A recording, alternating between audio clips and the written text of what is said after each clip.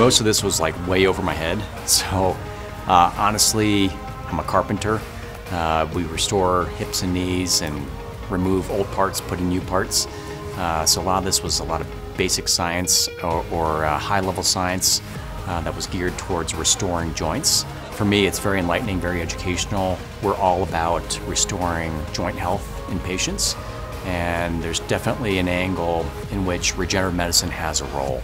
I think it's still in its infancy, but there's some really cool research that's going on in terms of delaying joint disease and also restoring cartilage health. Is it where it needs to be in 2019? I think there's still opportunity to grow and, and, and gain, uh, but I'm hopeful. I think, you know, based on what I'm hearing in the meeting and hearing these brilliant scientists, I know that, that we at some point will get to that point.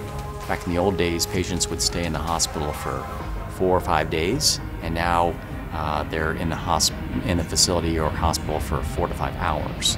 Uh, so recovery has come a long way. Down the road, there could be biologic replacements, biologic implants, uh, you know, actual implants that are coated with articular cartilage that can restore uh, diseased joints. Um, we're not quite there yet, but I think we'll get there someday.